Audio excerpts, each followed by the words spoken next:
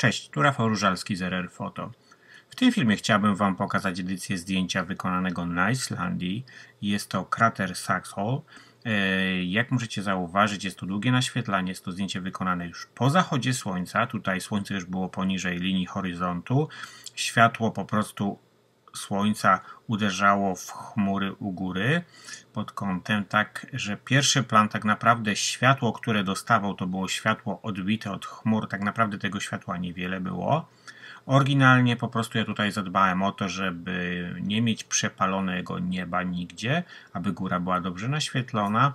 Wiem, że mój aparat na tyle pozwala wyciągnąć y, z cienia, aby nie było żadnych y, niepotrzebnych szumów pojawiających się na zdjęciu.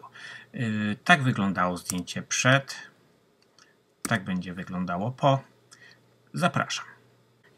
Już mam zdjęcie zresetowane i w tej chwili jestem w module Develop w prawym panelu. Zaczynam zazwyczaj swoją edycję od wybrania danego profilu najlepszego do swojego aparatu. I tutaj przechodząc w prawym panelu na sam dół, najpierw, tak zazwyczaj od tego zaczynam, kamera calibration i tutaj mam profile. Ja mam utworzony profil do swojego aparatu i następnie do danego filtra, którego użyłem, więc ja go tutaj użyję. Wy możecie wybrać sobie tutaj Landscape Natural Portrait Standard Vivid. To taki, jaki by Wam pasował. Następnie wybieram sobie Lens Correction i tutaj usunięcie aberracji chromatycznej i następnie dobranie profilu, jaki do obiektywu, który był użyty. I w tej chwili e, przechodzę do góry, gdzie mam Basic i następnie będę chciał yy, tutaj troszeczkę rozjaśnić te ciemne partie mojego zdjęcia pierwszego i drugiego planu. E, pierwszy plan to jest tutaj droga i to, co jest troszeczkę jaśniejsze. Drugi plan to jest właśnie ten krater sam w cieniu. I trzeci plan to mamy to niebo, które jest e, na długim naświetlaniu. E, jest to po zachodzie zrobione. Więc najpierw zaczniemy od rozjaśnienia troszeczkę naszego pierwszego i drugiego planu. Rozjaśniając poszczególne plany, użyję suwakła, tutaj blacks, od najciemniejszych partii mojego zdjęcia. Rozjaśnię sobie. Jak możecie zauważyć, pojawiło się troszeczkę detalu na kraterze, jak i na pierwszym planie ten został bardziej rozświetlony. Y, niestety również nam niebo troszeczkę się rozjaśniło. Powrócę. Możecie zauważyć, że troszeczkę nam się niebo rozjaśniło, ale na razie to zostawię tak jak jest. Teraz użyję słowaka Shadows aby jeszcze tak y, troszeczkę detalu wyciągnąć, powiedzmy, że tak około wartości 40 zostanę. Y, dlaczego nie rozjaśnię na przykład więcej swojego zdjęcia i wówczas, no, można powiedzieć, że zostało wszystko, można, detal został wyciągnięty, wszystko widać. Y, chodzi o to, że to wówczas zdjęcie nie będzie wyglądało naturalnie. E, wracając do wartości 40, tutaj już Wam tłumaczę o co mi chodzi. Mianowicie mamy trzeci plan, gdzie mamy naświetlony, gdzie mamy najjaśniejsze tutaj partie naszego zdjęcia. Później w tym zdjęciu mamy ten krater, który on jest dosyć ciemny i on jest w cieniu, więc tutaj chciałbym zachować tylko detal, gdzie po prostu będzie widoczne, nie będzie cza czarna plama i następnie odbite światło od nieba, które mamy na pierwszym planie. Rozjaśniając nasze ciemne partie, również rozjaśniliśmy troszeczkę nasze niebo, które było trosze, znacznie ciemniejsze. E, I w tej chwili użyję słowaka highlights i po prostu będę przyciemniał to nasze niebo tutaj na tym zdjęciu. I teraz tak, powiedzmy, że zostanę przy wartości 60. Następnie chciałbym troszeczkę poprawić balans bieli, ocieplić tą scenerię i również tinty trochę w stronę magenty dodać. Tu było tak dosyć różowo. Powiedzmy na razie zostaniemy przy tych wartościach. Niech tak na razie zostanie. E, I teraz w kolejnym etapie będę chciał dodać gradient od na niebo. Powiedzmy łapię od góry, przeciągam. I w tej chwili jeszcze będę chciał użyć suwaka highlights i może troszeczkę przyciemnię tego nieba. Następnie spróbuję dodać lekko może kontrastu. Spróbuję dodać clarity. Nie, w tym wypadku dodam clarity, ale na minus powiedzmy 7. To troszeczkę zmiękczy to nasze niebo. I spróbuję jeszcze ocieplić samo niebo i dodać lekko tint. Następnie zaakceptować. I teraz w kolejnym etapie będę chciał dodać e, tutaj e, field tutaj stopniowy, ten okrągły i następnie rozłożyć go tak, aby tutaj ta część nas prowadziła do tego kratera i troszeczkę go rozjaśnić. Tutaj, gdzie to padało światło e, odbite. I teraz tak, użyję tutaj sobie, spróbuję użyć Shadows, lekko rozjaśniając i spróbuję jeszcze dodać ekspozycji, exposure, e, no powiedzmy tak troszkę i dodamy kontrastu. Zatwierdzam.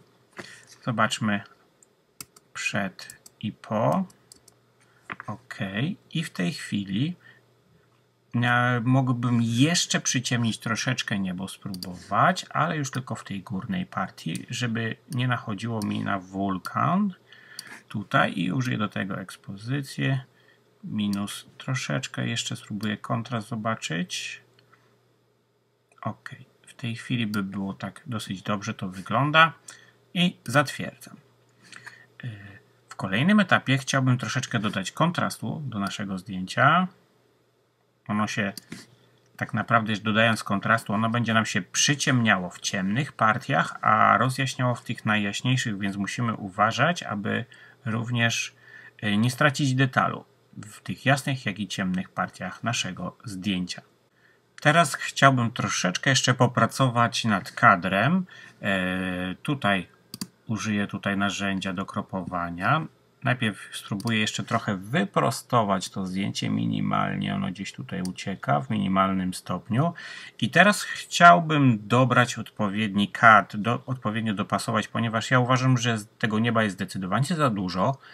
E, I wydaje mi się, że najlepszym rozwiązaniem byłoby tutaj 16 e, na 9, czyli taka lekka panorama można by było rzec. I teraz dopasować to wszystko. E, muszę zwrócić tutaj uwagę, jak będę przycinał ten kadr, dopasowywał. E, chodzi o to, że mianowicie ten krater, on no, nie może być zbytnio po środku, ze względu na to, jak możemy zauważyć, e, no, on nie gra centralnie w kadrze razem nam z drogą, więc powiedzmy, chcę dopasować tutaj same końce tej drogi po brzegach, tak żeby droga prowadziła do środka, a następnie ten wulkan będzie przesunięty. I tak mniej więcej w tej sytuacji chciałbym to zatwierdzić, zostawić na razie e, w tym momencie, tak by było. I teraz jeszcze krzywą dodam troszeczkę tak zwiększając kontrast, łapiąc tutaj lekko podnosząc, rozjaśniając i w tej chwili tutaj trochę na dole przyciemniając moje zdjęcie. Teraz klikając ten kwadrat, tutaj możemy zobaczyć przed i po. W tej chwili możemy zaobserwować, że nasze zdjęcie troszeczkę się wyraźniejsze zrobiło. Tu trochę straciliśmy detalu w tym miejscu. Spróbuję to jakoś naprawić, zobaczymy czy się uda. Jeżeli nie, to po prostu moją krzywą wtedy e, spróbuję troszeczkę zmniejszyć e, to natężenie, a tutaj użyłem tego filtra gradiacyjnego e, okołowego i następnie highlights będę chciał troszeczkę zmniejszyć, aby przyciemnić te jasności. Nie można za dużo, jak możecie zauważyć, od razu się ciemne obramowanie robi, więc troszeczkę po prostu lekko przyciemniając. Niech będzie 11 i zatwierdźmy. OK, tak w tej chwili mniej więcej to by wyglądało. Ponownie tutaj wracając do Basic panelu, tutaj w, w prawym panelu, następnie dodam Clarity, niewiele, tak około 6. Następnie zamiast saturacji dodam Vibrance, aby troszeczkę nasycić tymi kolorami. I w tej chwili jeszcze przejdę niżej. Lekko wyostrzę swoje zdjęcie zmniejszę tutaj radius i następnie, gdzie mam maskowanie, czyli wciskam Alt i przesuwam w prawą stronę, będę chciał zrobić tak, żeby to, co jest jasne, żeby było ostre, a to co ciemne, wówczas tam ta ostrość nie będzie nakładana. Czyli na, na tą największą część nieba ta ostrość nie będzie nakładana. I tak by to pasowało. I następnie jeszcze może lekką winietę bym dodał. Tutaj, gdzie mam efekt swoim zdjęciu. I można by było powiedzieć, że zdjęcie jest gotowe. Wciskając lewy ukośnik mamy zdjęcie przed, mamy zdjęcie po. Wciskając F mamy podgląd. Tak wygląda gotowe nasze zdjęcie. Mam nadzieję, że Wam się podobało. Zapraszam do subskrypcji, dzielenia się tym filmem, jeśli możecie z innymi. Również zapraszam na Facebooka. Dziękuję bardzo i zapraszam ponownie.